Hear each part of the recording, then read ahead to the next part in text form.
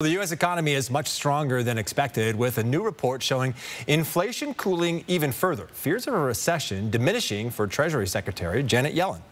But no reason right now why there would be a recession this There's year. no obvious reason why there would be. President Biden is happy with the economy that's exceeding expectations. Prices rose just 0.2% from November to December, and the latest GDP report showing 3.3% growth in the fourth quarter of 2023.